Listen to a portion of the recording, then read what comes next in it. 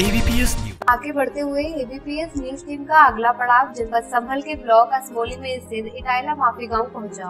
लगभग छप्पन सौ की आबादी वाला यह गाँव जिला मुख्यालय से 70 किलोमीटर दूर तो वहीं ब्लॉक से इस गाँव की दूरी मात्र 20 किलोमीटर ही है। वर्तमान में गाँव के प्रधान भूरी के द्वारा गाँव में विकास कार्य बेहतर तरीके से कराए जा रहे हैं। लगभग अठारह सौ छियासी वोटर वाला यह गाँव विकास के पद पर अग्रसित है। गाँव में लगभग 410 राशन कार्ड धारक हैं। बात अगर शिक्षा के स्तर की की जाए तो गाँव के जूनियर एवं प्राइमरी विद्यालय में लगभग 350 बच्चे अध्ययनरत हैं। गाँव में पेयजल आपूर्ति व्यवस्था दुरुस्त करने के लिए 70 हैंडपंप लगवाए गए हैं साथ ही विद्युत व्यवस्था दुरुस्त करने के लिए 200 विद्युत पोल, छह विद्युत ट्रांसफार्मर व 11 सोलर लाइट भी लगवाई गई है वही बात अगर विकास कार्यों की की जाए तो वर्तमान प्रधान द्वारा गाँव में आठ सीसीटाइज रोड तीन खडंजा, पानी निकासी के लिए नाली, स्कूल में मरम्मत कार्य व बाउंड्री आंगनबाड़ी केंद्र, स्वच्छ भारत मिशन के तहत एक इज़्ज़त घर व प्रधानमंत्री आवास योजना के तहत चार आवास का भी निर्माण कराया गया है। इसी के साथ एबीपीएस न्यूज़ टीम ऐसी बात करते हुए ग्राम प्रधान प्रतिनिधि ने गाँव में CC tiles road Khatanja panchayat घर, खेल का मैदान, बारात घर व प्रधानमंत्री आवास योजना के तहत 125 आवासों के भी निर्माण की मांग राज्य व केंद्र सरकार से की। मैं जाने आलम, ग्राम अटाला माफ़ी प्रधान पुत्र, जिला संबल से बात कर रहा हूँ।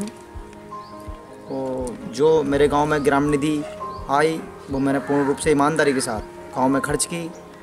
सीसी टाइल्स कराए, आठ दस रोड चार रोड खरंजे कराए और मैंने स्कूल में सीसी टाइल्स भिजवाई।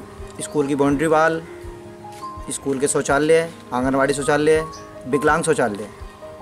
मैंने पूर्ण रूप से स्कूल स्कूल के लिए मतलब यूपी में नंबर एक लेवल पर पहुँचाने का काम किया है। जो मैं सही प्रधानों से कहना चाहता हूँ, काम देख के प्रेरित होने चाहिए इस काम से।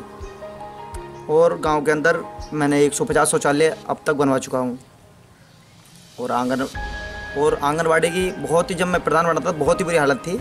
उसमें मैंने साफ़ सफ़ाई करा के खुदाई करा के उसकी रिपेयरिंग कराने के बाद बहुत ही अच्छी बाउंड्री वाल कराने के बाद उसका काम कराया है। और लाइट का काम गाँव में चल रहा है पोल ट्रांसफार्मर और मैंने चार आवास अपने टाइम में कंप्लीट कराए हैं।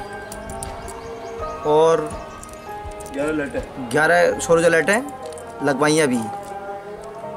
और जो भी काम बाकाया हैं अभी धनराशि नहीं मिली है जो भी काम गाँव में जो गंदगी है जो सड़कें नहीं पड़ी है कच्चे रोड है उनके लिए धनराशि आएगी उनमें पूर्ण रूप से ईमानदारी के साथ उन्हें निभाऊँगा।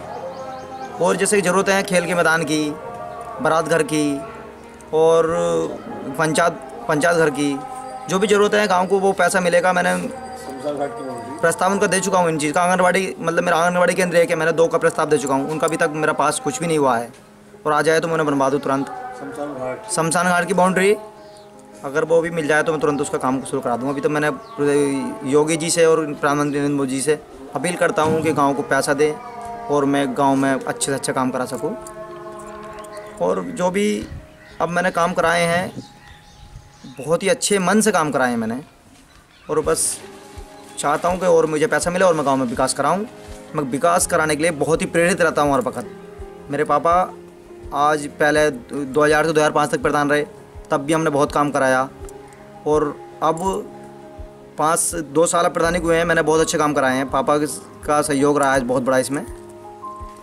आपका जो विद्यालय है ये इटाइला माफ़ी में ये इसमें आपका क्या सहयोग रहा? मैंने में सीसी टाइल्स और इसमें आंगनबाड़ी शौचालय और स्कूल शौचालय विकलांग शौचालय बाउंड्री वाल मैंने इसमें इतना काम कराया